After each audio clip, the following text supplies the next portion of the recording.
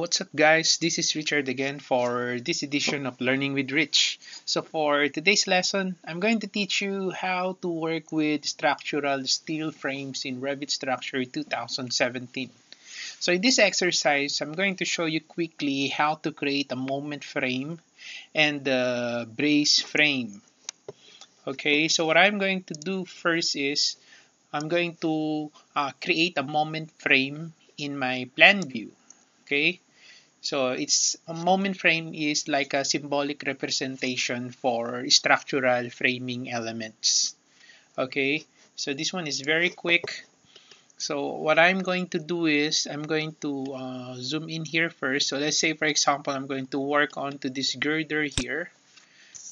Okay? So from my properties here if you're going to move your uh, uh, slider. So you will notice there is an option here uh, from the structural parameter. There's an option here is start connection and uh, end connection. Okay so this is the parameter that you can use to change the start connection and end connection.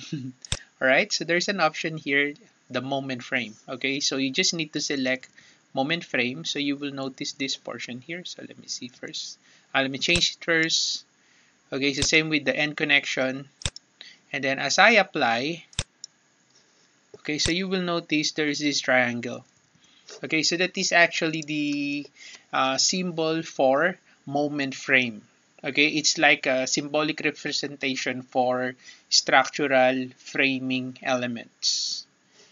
Okay and then after that, what I'm going to do next is uh, I'm going to create a framing elevation. All right, so I'm going to create here a framing elevation. So framing elevation, since it has something to do with view, from the view tab, okay, I'll just go ahead and click the elevation drop down here and then you will see there your framing elevation. So I'm going to select this. Okay, I'll just make sure that attach to grid here is checked okay so when I move it along the grid here so you will notice my elevation here my framing elevation here attaches to the grid. So I'll just click here. Okay so there's now the elevation that I just uh, created.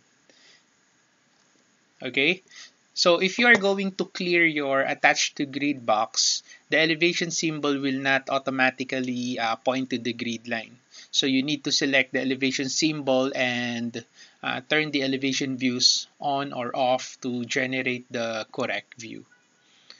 Okay, so what I'm gonna do uh, next is I'm gonna open the elevation that I just created, this one.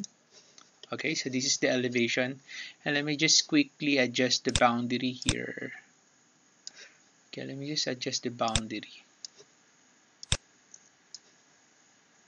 Okay, and then the level? All right so something like this. Okay and then after that from the uh, view control bar you see there's an option here the detail level. So I'm going to change this to medium okay? So this is how it looks like if it is medium. So if you're going to change this to coarse okay so this is how it looks like so our structural elements are represented as stick symbols, which are single line graphical representation for structural elements. Anyway, I'll just change this to medium so that it will look like this. Okay. All right, next, what I'm going to do next is I'm going to add braces to the framing elevation. So from the structure tab, I'm going to select here the brace tool, this one. And then from the type selector uh, alright so maybe I'll just use this one. And then I'm going to click now on the intersection of my uh, grid E and the, and the first floor. Okay this one I click and then I'll snap to the midpoint here.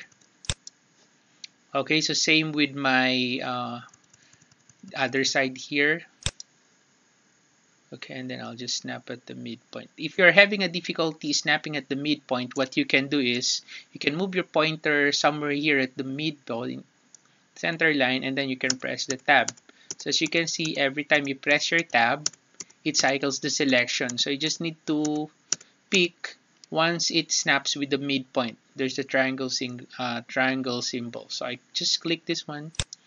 There you go. Okay. So I'll just modify this to terminate and let's say I'll just open the 3D view. Okay, so this is the one that I just created. So let me just key, uh, type WT to tile the view. Okay, so let me just close this first. Okay, click this and then WT. Alright, so if I want to see the 3D here. Okay.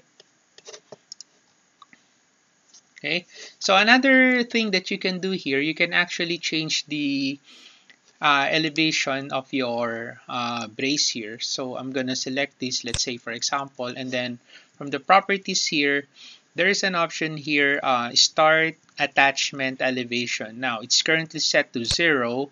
So I'm going to change this, let's say to minus 450. So it will go down minus 450. See, once I apply, you check out the 3D view. See? Alright, so I'm going to do that also to the other side. So I click this and then I change the start attachment elevations minus 450 and then I just apply it. There you go.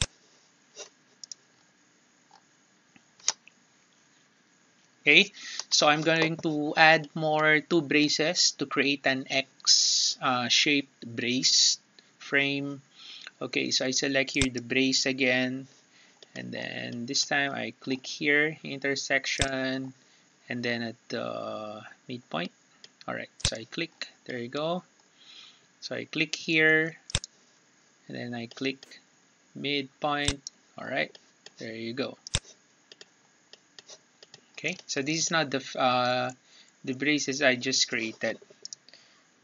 Okay so if you will notice if you go to the second floor or if I open the second floor I'll just maximize this one so automatically the Revit will create the symbol of your uh, frame. See, I have here four frames. Okay, so if you want to modify the symbol, so what you can do is you can go to the Manage tab and then there's the structural settings, structural settings here. So I click this one. Okay, and then from the brace symbol, so instead of line with angle, so I'll just use here parallel line. Okay, just ensure uh, show brace above here is checked okay? So parallel lines so I select here OK and there you go right? So uh, these are now my four braces okay? So what I'm going to do these four braces that I just created I'm going to copy it here. So I'm going to select the four braces here okay? And then I'm going to copy it copy and then I'll just make sure the constraint here is checked so that it constrain, uh, constrain my move direction. So I'm going to pick here as my base point and then I'm going to snap it to my one here. There you go. And then I select here modify. So if I'm going to change that to 3D view, so this is how it looks like. So let me just hide first the roof. So I click the roof, right click, hide in view by category. Alright so this is now my braces. Okay? Alright?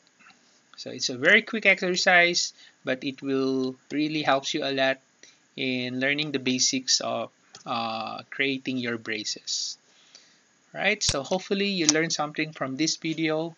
So if you have any comments suggestions or questions you can just put it on the comment section below.